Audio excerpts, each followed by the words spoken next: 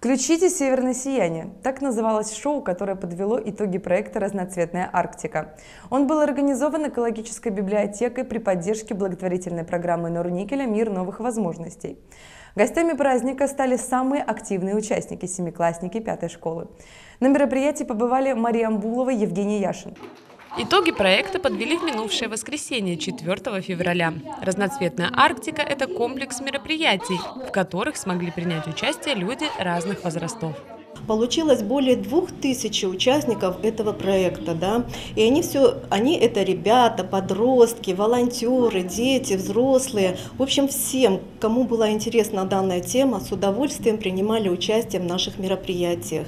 Проект «Разноцветная Арктика» проводился в течение года с 1 марта 2017 года. Победа в конкурсе социальных инициатив Нурникеля благотворительной программы «Мир новых возможностей» позволила реализовать много полезных идей. На подведении итогов участники вспомнили эти мероприятия. Это и «Респект», встреча «Пульс Арктики» с представителями национального парка «Русская Арктика» и конкурсы рисунков и поделок, которые сейчас украшают выставку, инсталляцию в библиотеке и творческие мастер-классы по по изготовлению игрушек в виде жителей Арктики и эко-квест «Ключи от Арктики».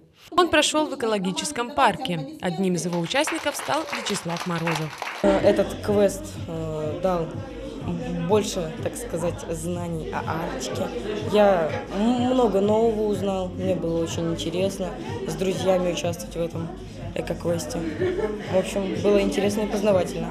На итоговом мероприятии ребятам тоже пришлось постараться. Они отправились на поиски северного сияния. В конце встречи они получили грамоты и небольшие памятные призы. Но самое главное, что мочегорцы, участвуя в проекте, расширили свой кругозор, открыли большие и маленькие тайны Арктики.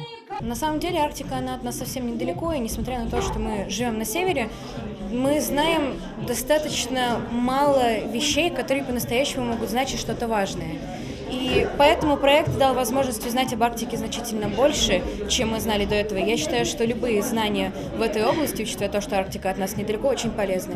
Теперь в экологической библиотеке оформлена тематическая зона «Добро пожаловать в Арктику» с выставкой инсталляций «Разноцветная Арктика» и живым уголком. Любой желающий может прийти сюда и узнать много нового об этом северном регионе.